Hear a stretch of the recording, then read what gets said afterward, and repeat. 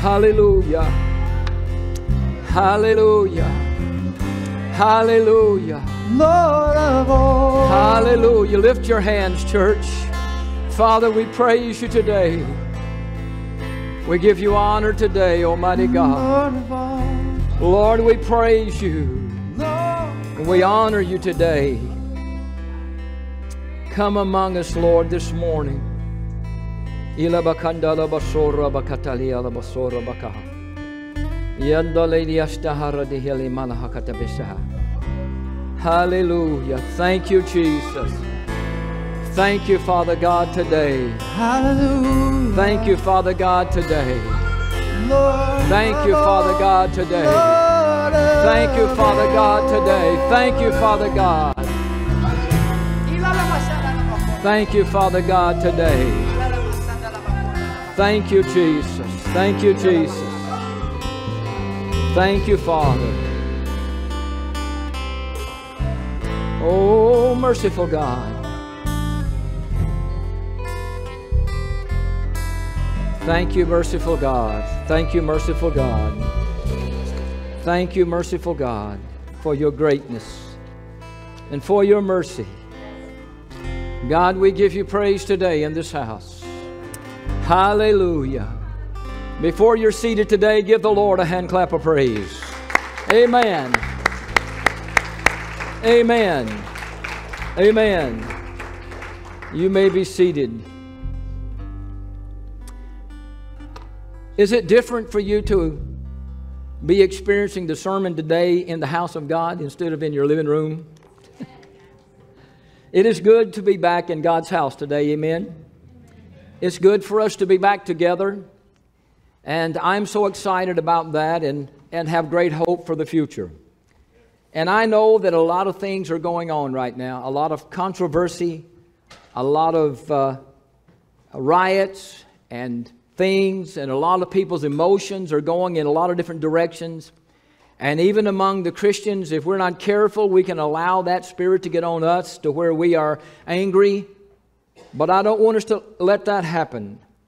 As we come back together, I want to challenge us to be not to be the same church we were when we left, but to be a better church.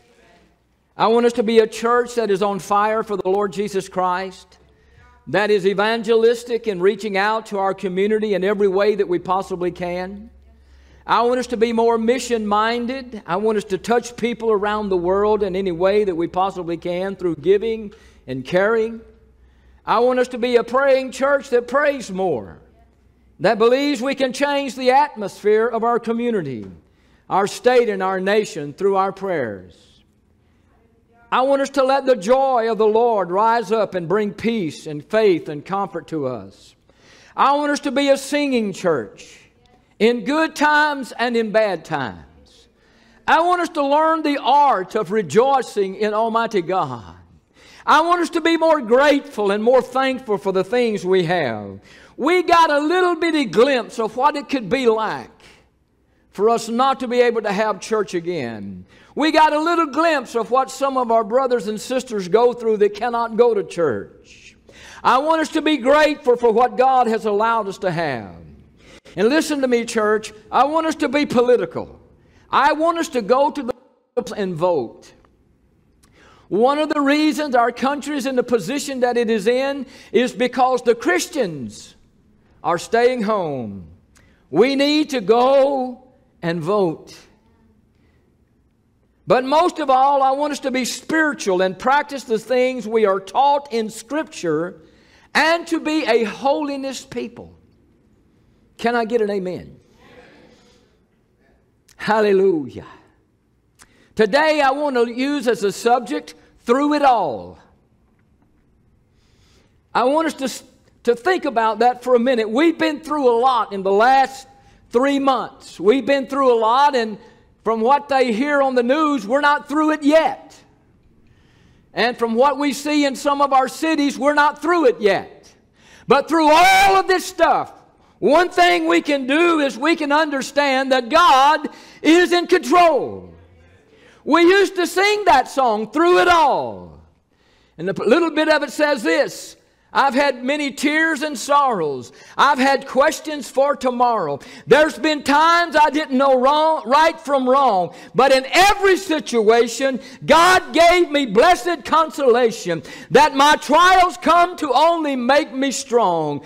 Through it all, I've learned to trust in Jesus. Through it all, I've learned to trust in God. Through it all, I've learned to depend upon His Word. Church, we need to go back to the basics of the Word of God and begin to let the Word of God, not the emotions that we have, but the written Word of God, directed by the Spirit of the living God, let it begin to give us direction. Let it begin to give us peace. Let it begin begin to give us hope. Let it begin to give us direction. Let it begin to help us. Let it begin to restore us. Let it begin to make us better men and women for God Almighty. We need the Word of God.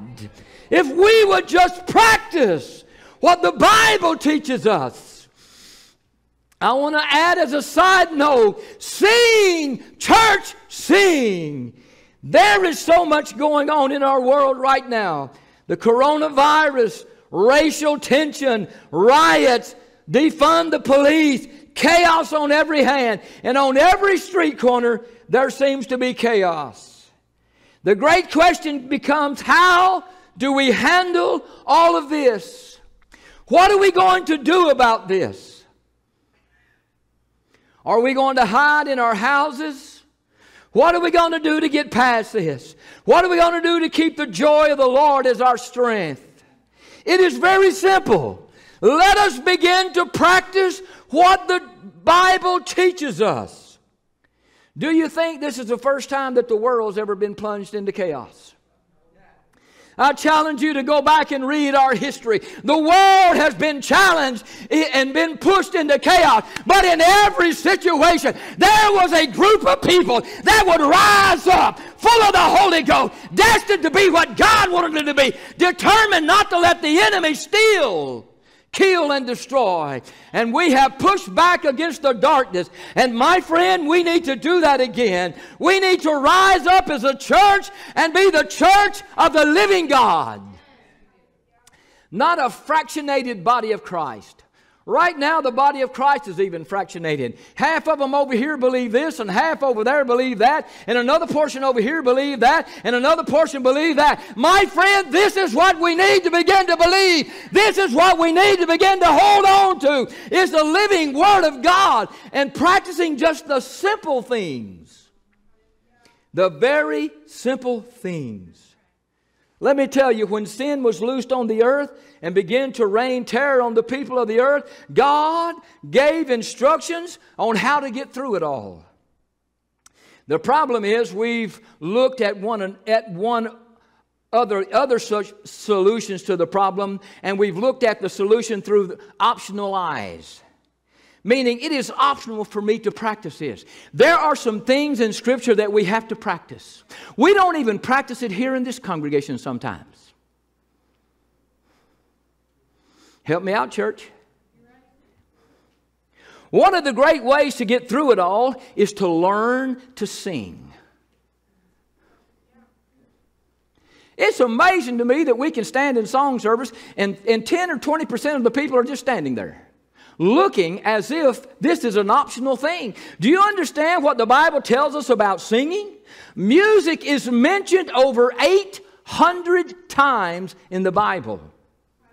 More than 200 times, God instructs us to come into His presence with singing. There might be something to this singing and this music and this rejoicing and this letting the hand of God and the grace of God and the power of God and the strength of God to begin to flow through us. And we do this best by practicing the Word of God. Let us sing, church. Let us make music. The devil has even caused one portion of the body of Christ to not even allow music.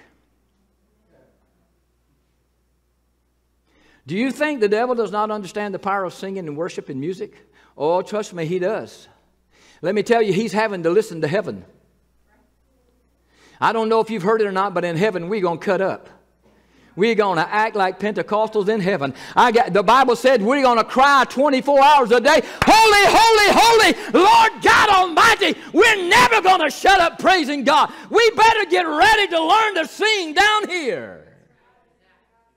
Why do we sing and why should we sing? Because God commands us to sing in church.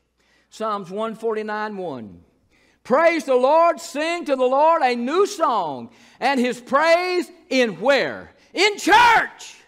In the assembly of the saints, when we get together like this, we are commanded by Lord God Almighty to lift our voice and begin to sing. And when you do, something powerful will begin to happen to you. When you learn the art of singing and praising God, see, we can only sing when we're happy, but the Bible tells us to sing at all times, to sing when we're happy, to sing when we're sad, to sing on the mountain, to sing in the valley, to learn to give God praise. This Psalms tells us to sing in our congregations. So many people can stand and not sing in a worship service. And just stand there but God tells us to sing. We've allowed, we have allowed what is being sung to dictate or control if we sing or not. I don't like that song. You know, when you get to heaven, you might not like some of the songs he's written. Have you read some of them? Have you tried to sing some of them? I tried to sing with Moses. I couldn't figure out what key he was in. You know, he had a song service when he got out on the other side. He talked about horses being drowned and chariots being washed away. I mean, I can only imagine what two million people must have sounded like when they broke out in singing. We are commanded to sing. Don't say I can't sing. Everybody can sing in the assembly of the saints. It didn't say you were supposed to sing a special or a solo. And my wife tells me she likes it when I sing solo. So low she can't hear it. Great wonders are made known when you sing Psalms 105 and 2. Sing to Him, sing Psalms to Him. Talk of all of his wondrous work. When you begin to sing, wonderful things begin to take place. Wonderful things begin to take place in the atmosphere where you're sitting and, and where you're gathered. Wonderful things begin to take place in your personal life. And God begins to magnify and to teach us and to show us great wonders simply because we sing. When we sing, we are telling his story and our story. When we sing, There is power in the blood, we speak of the sacrifice of Christ and what He's done for us. In fact, we ought to sing more about the blood. There's power in the blood of Jesus. There is wonder working power in the blood of Jesus. There is soul saving power in the blood of Jesus. There is cleansing power in the blood of Jesus. There is sanctifying power in His blood. There brings joy when we sing about the blood of Jesus. When we sing, I never shall forget the day when all the burdens of my soul rolled away, we are singing about what happened to us when salvation comes. When we sing Amazing Grace that saved a wretch like me, we are telling of our lostness and how He found us. When we sing, Oh, I'll fly away, we sing of heaven, and the list could go on, but singing is a powerful and effective way of telling the story of Christ and of raising joy in our hearts. We view singing so wrong. Why does singing work? Because God commanded it to. God commanded singing to work. Singing to God is more than an act of worship, it is an act of obedience that brings the favor of God near to you. When you begin to sing simply because God tells us 200 times, lift your voice in the sanctuary and sing to me, when you will do that, something powerful will begin to happen in your life. Why? I do not know, other than God said it would. If God says do something, don't debate with Him of whether I should do it or not. Obviously, he has put it in the book for a reason. And if He tells you 200 times, you know, maybe they were like us. They didn't get singing. But if He tells us 200 times to sing, maybe we ought to sing. Let me tell you what singing does singing breaks chains. Acts, let's look at Acts 16 25 through 26. But at midnight, see, Paul and Silas were thrown in jail for preaching the gospel. What are you going to do when you're thrown in jail? We come pretty close to being thrown in jail. You know, they arrested some pastors for having church. We come pretty close to being uh, thrown in jail. You know what we should have done when we got thrown in jail? Instead of calling our attorney, we should have called and pleaded our case in heaven's court. You see, there is a scripture that says you can plead your case in heaven's court. But we don't plead our case in heaven's court. We plead our case in the, in the court of popular opinion. And we call a lawyer and we call a newspaper and we call the news channel. And we want all of this. But this is what Paul and Silas did. When they were arrested for preaching the gospel, the Bible said at midnight they were praying and singing. You think they were in good, comfortable positions when they begin to sing that song. I would, I'm going to ask Paul what the song was. In fact, I wish they would just send it down now so we could sing it a while. I don't know what song they sang. But the Bible said, but at midnight, Paul and Silas were praying and singing hymns to God. Listen to me. They were not just singing, they were singing to God. It might have been some of the song that they had heard and rehearsed from, from Moses when they, when they got across the Red Sea. God, you've drowned horses and chariots. I don't know what they were singing. But let me tell you what I do know. And the prisoners were listening.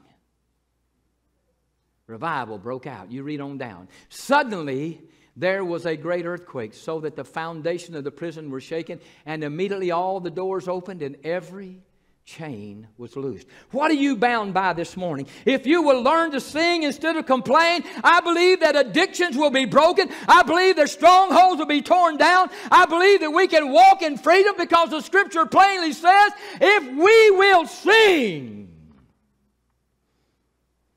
there was no court case for them. There was no army that came to get them. There was no arguing about the rights, Paul and Silas, to go free. They were freed because they sang a song. Singing is a powerful weapon because God designed it to shake prison and break bars and loose bondages. When we sing, we change the atmosphere.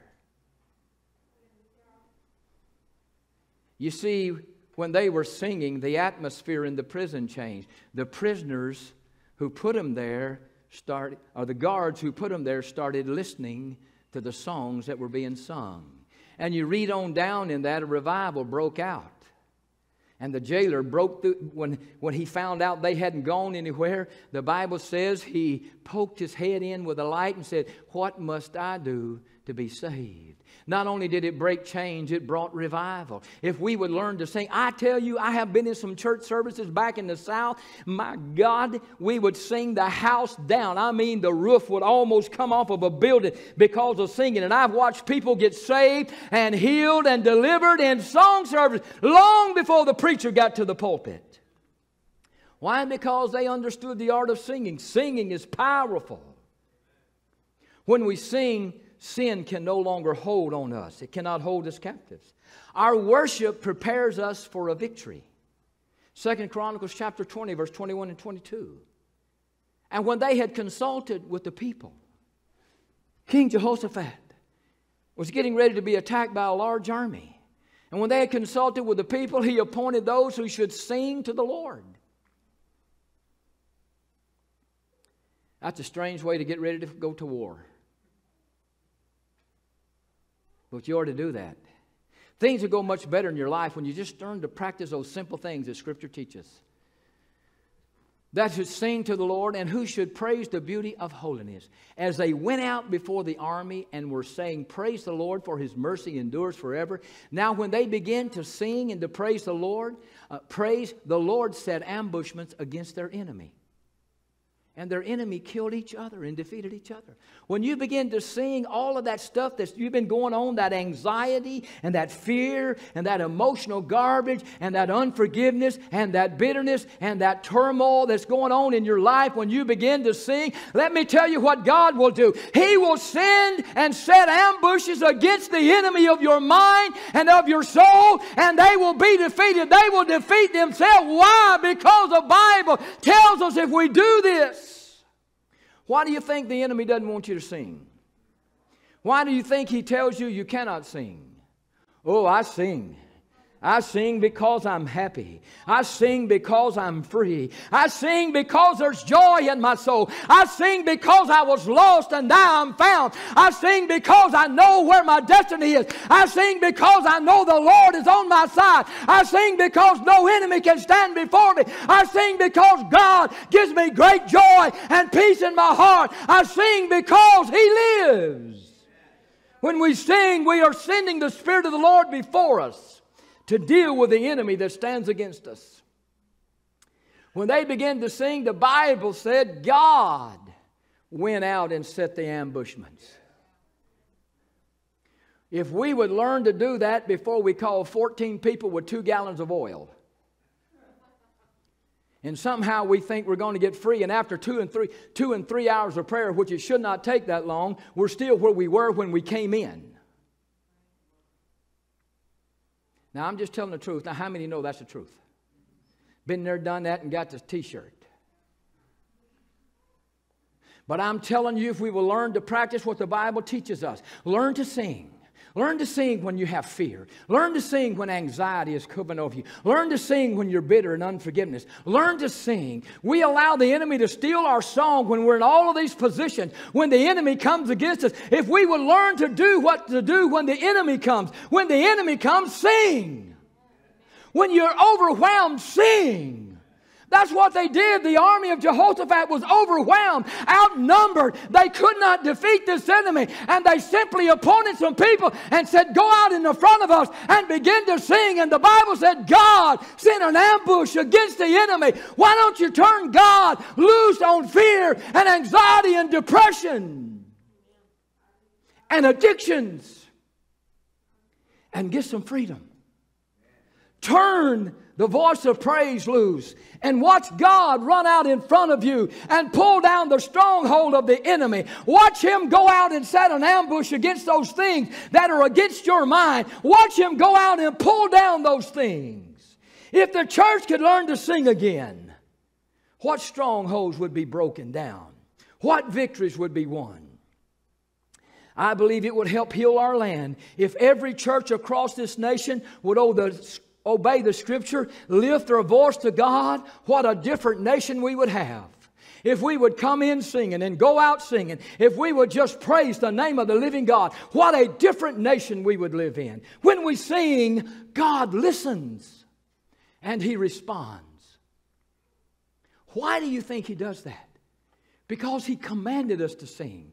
And anything God commands us to do, when we do it, it gets His attention when you simply obey the little scriptures. Oh, you know, I'm reminded of a guy by the name of Naaman that, that he, w- he was eat up with leprosy, and he went to the prophet because he'd heard that he could heal him. And the prophet said, Well, I ain't even going to go out and see the guy. I'll send my servant out. He said, Just go down to the Jordan and dip seven times. Well, it made the guy mad. He said, the Jordan River was a mud hole full of dirt and garbage. He said, I don't want to go down in there. Why don't he tell me to go to my country? We got beautiful rivers. And his servant was smarter than the king and said, If he told you, not the king, but the commander, if he told you to do some great thing, would you do it? He said, Well, yes, I would do it. He said, Well, what's, what's it going to hurt to go dip in that dirty river? The Bible said he went down to the river and he dipped seven times and he came up clean. Why? Why did it have to be the why did it have to be that river? That's the river God told him to go dunk in. He could have told him to go dunk in a clean river, but he told him to go dump in that dirty river. Why? I don't know why. I don't know why, and I don't think anybody knows why, but I know this when he obeyed and went down and dipped in that river, he came up clean. If he'd have went home and dipped in the clean river, he'd have still been a leper. And when we don't obey the scripture, when we're attacked, if we would just simply begin to sing, I don't feel like singing. He didn't ask if you felt like singing. Nowhere can I find in the scripture that says, if you feel like singing, sing. All I can find is sing. When we sing, God listens to us and responds to us. When Paul and Silas were in jail and they were told to sing, they just sang and it changed their situation. Acts 16 29. All because of a song, a song. Singing brings God in the middle of our brokenness. Then he called for a light, ran in, and fell down trembling before Paul and Silas, and asked the question Sirs, what must I do to be saved? A revival broke out because of a song. Singing brings God in the middle of our brokenness and our darkness and our sickness and our disease and our fear and so much more. When you get in trouble, sing. For a minute, let's look at some scriptures that command us to sing in the New Testament. When we sing, we obey God. Colossians 3:16. Let, look at this verse of scripture. Let the word of Christ dwell in you richly in all wisdom, teaching, admonishing one another in psalms, hymns, and songs. Sing. Sing. Do you know the persecution that the early church faced? Do you know how they wanted to get rid of them? Do you know they're doing the same thing to us today? They told Paul and Silas and Peter and all those guys, do not preach in the name of Jesus. They tell us when they want to call us down to the courthouse and to the city counseling meeting, don't mention the name of Jesus. Why do you suppose that? They know what the Bible says. The devil knows what the Bible says. If you ask anything in my name, it will be done. They don't mind you praying, but they don't want you to invoke the name of Jesus because there is power in that name.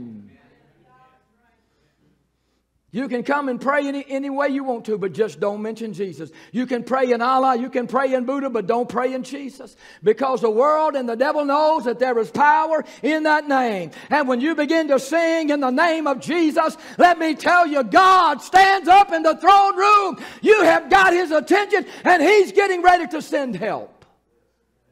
And it doesn't matter what's going on and what you're going through if you will learn to sing songs to each other. God will help us. Ephesians 5 18 and 19. We got to move quickly, guys. And do not be drunk with wine, in which is dispensation, but be filled with the Spirit, speaking to one another in psalms and hymns and songs, singing and making melody in your heart to the Lord. This scripture commands us to sing and make a melody. In this verse, the word sing is translated make melody with vocal cords. And the word translated making melody means to pluck on a stringed instrument. We are supposed to play music and sing in the house of the Lord. We're supposed to tear it up, to put everything in it that we possibly can. God wants us to tear it up when we sing.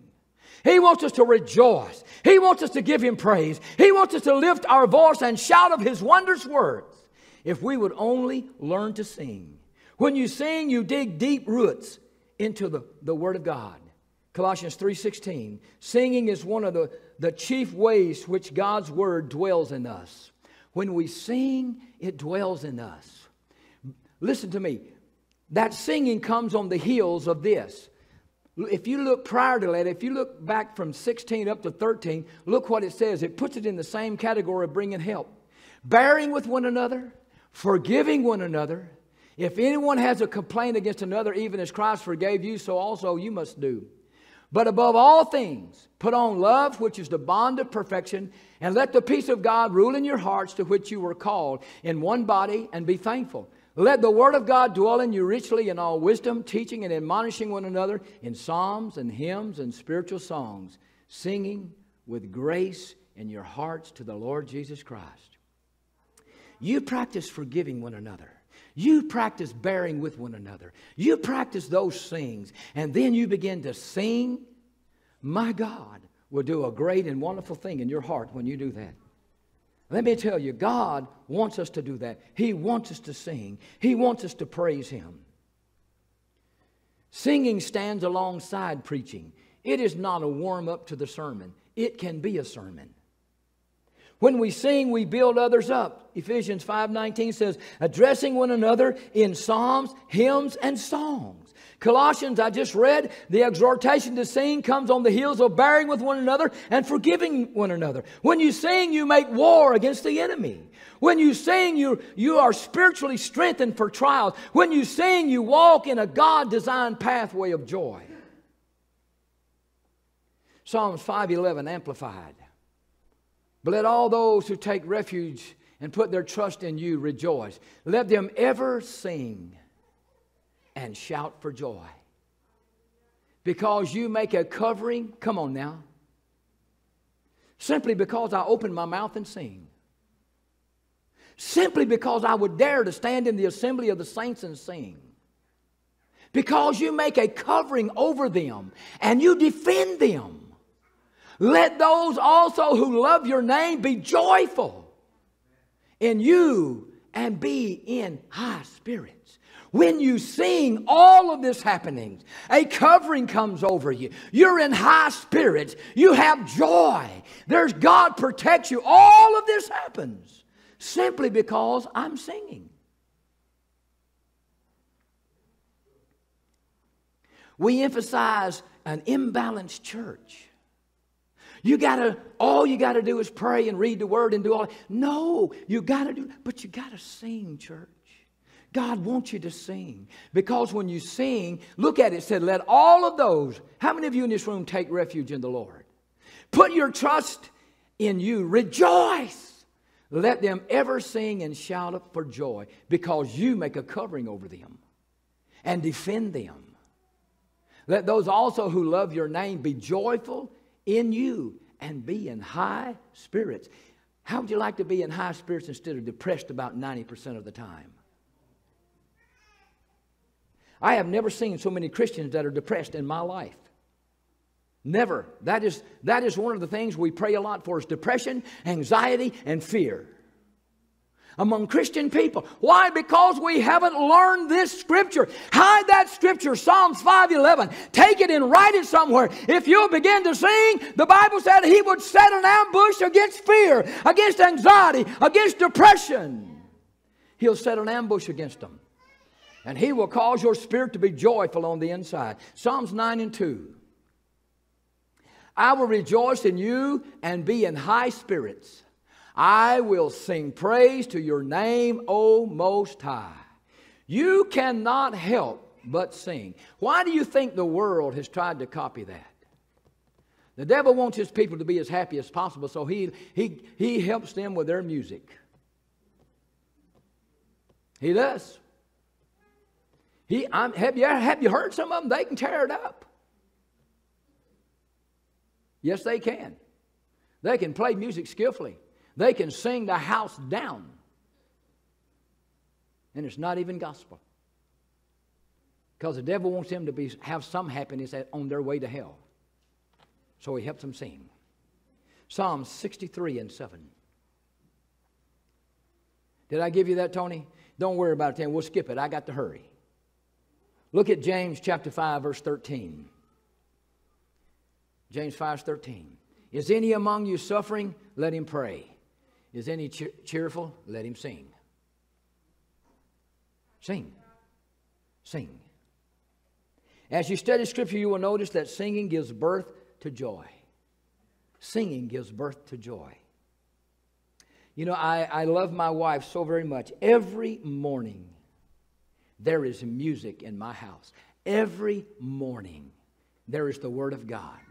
She starts by putting on the Word of God, this guy reading the Bible and he'll read about five chapters and then she goes into music and she has a worship service every day seven days a week my house is filled with singing and filled with the word of god i appreciate that so very much i didn't tell her to do that but in this woman there i tell you i've been married to her 40 years and never seen her depressed in my life she's always got joy she's always happy She's always positive. And I believe it because she's a singing woman. She sings when she's when she was so sick. Some of you guys don't know because you hadn't been coming here that long, but I almost lost her a few years ago. I thought my wife was going to die. She was in the hospital three times in one year. And I thought she wasn't coming home. And I was the most, I tell you, I've never been so scared in all my life. But through all of that, she sang. Through all of that, she didn't complain she sang. Her attitude did not change. She stayed the same lady, same sweet woman I married. She stayed through all that. Let me tell you, that helped me. She doesn't know how much that helped me. If you struggle for joy in your life, I challenge you to sing. The last reason to sing is when you sing, you glorify God. Revelations chapter 7, verse 9 through 10. After these things I looked, and behold, a great multitude which no one could number, of all nations, tribes, peoples, and tongues, standing before the throne, before the Lamb, clothed with white robes, with palm branches in their hands, and crying out with a loud voice, saying, Salvation belongs to our God who sits on the throne and to the Lamb. Hallelujah. People of faith will sing for joy and sorrow. Circumstances should not dictate our singing because singing is a command of God. We need to sing. We need to not let the devil steal our song. Chris, where you at? Let me tell you, there's something very powerful about singing. If we would learn the art of singing in all of our distress, through all of this stuff, through all the chaos that's going on, if this church will learn to sing, if you will learn to sing in your home, if you will learn to sing in your car, if you will learn to sing in the gathering of the congregation, if you will learn to sing, something very powerful happens when you sing. The joy of the Lord rises up within us. The strength of God begins to touch us and to speak peace to us. All of those things happen to us when we sing. Church, we need to learn to sing again. We need to learn to sing again with everything that is within us. Songs carry the message of God. When I sing the song Amazing Grace, I know the wretch that I was. I know the wretch I was. When I sing, I never shall forget the day when the burdens of my soul were rolled away. Can I tell you when it was? It was September the 24th, 1202, 1973. I never shall forget the day when the burdens of my soul rolled away. I'll not forget the day when God healed me. In fact, God just healed me last night. I went to, I drove up four hours to camp on Friday and worked all day at, at youth camp and drove home last night. I'm, that's why I'm a little tired today. We worked all day hanging sheetrock, or not sheetrock, but insulation. Ugh, heat insulation. Insula- insulation and board wall around it. My ankle was swollen up that big when I came home last night. I could barely walk. But this morning, I am healed. I am healed. I told the Lord about that last night when I went to bed. I said, Lord, this I can't go to church tomorrow walking like a broke-legged dog. He understands my language. That's how I talk to him. And he healed my body. I could run a foot race right now. No pain, no, no soreness. I am so grateful to God. We got up this morning and I was so sick. I felt like I told my wife, I am you have to stop this car. I'm fixing to throw up. We were on our way to get mad. I started praying and asking God to heal me, and He healed me. I said, Devil, you're not going to stop this service. I'm going and preach about singing. I'm going to sing praises to God. You think God doesn't come on the scene? He does. He does, church.